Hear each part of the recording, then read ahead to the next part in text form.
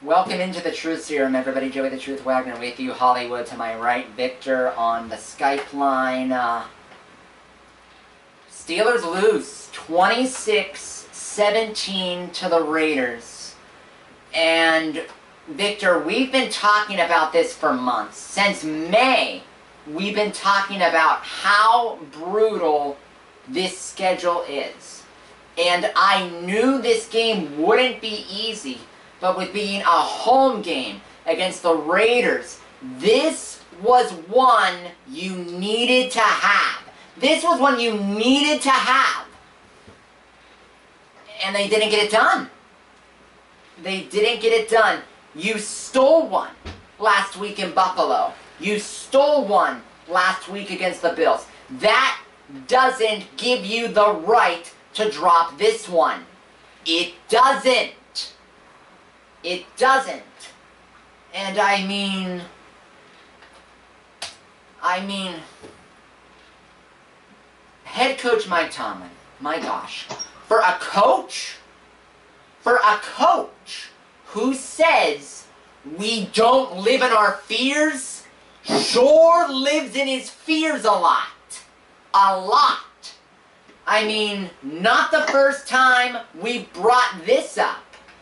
He's done this before with the wild card game against Cleveland last year. Fourth and one near midfield. Fourth and one down 12. Moving the ball, moving, moving, moving. You only need, need a yard. He punts. Cleveland goes down, scores. Ball game.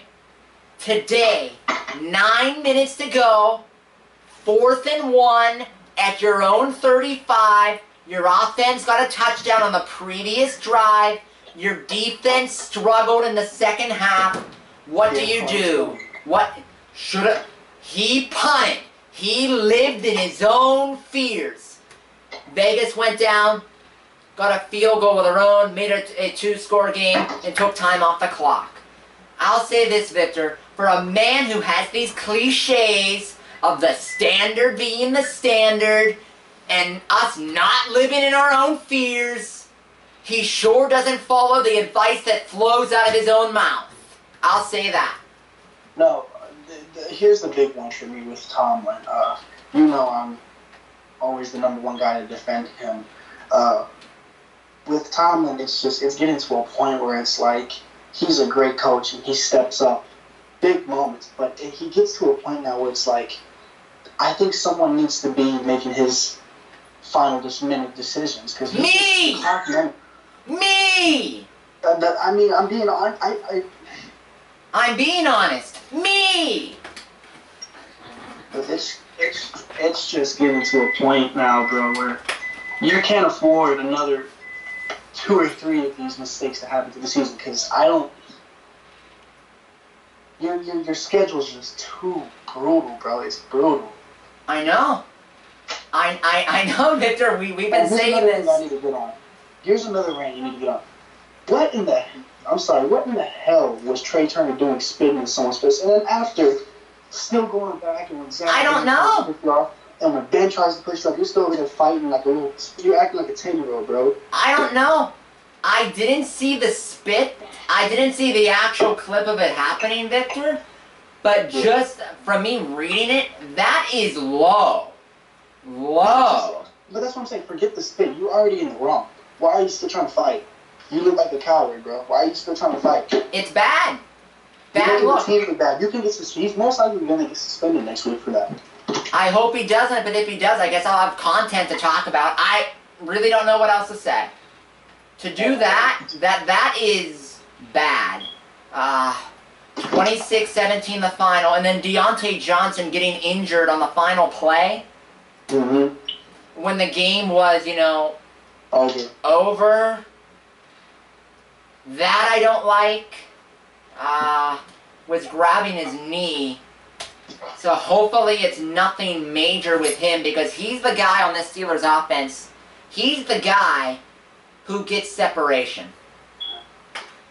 Yep. He's the guy who gets separation. He just does. He's that guy. That's what he does. Yeah. There's something I need to say also to Kevin Colbert, the general manager. He's sitting on about seven to maybe six to seven million dollars in cap space. Get a He tackle. needs, huh? Get a tackle. You need to get a tackle. It's ridiculous. Dan Moore's been impressive, but you need a tackle. Dan Moore needs to be your third tackle. Zach Banner needs to get out there when he's available. You need to sign a tackle. Chuks isn't good right now. No, no, and it's it, it's not just that. This offense is talented. Ben is still Ben in my eye. He's not Ben 2012, but he's Ben who can do something for you. This guy is pushing the ball down to, but he he's, he's trying to run around. He doesn't have the time. You you're sitting on money. You cannot let that group carry you throughout the season. You're not going to go nowhere. You can't. This team is too talented, and the core is getting too old to waste it.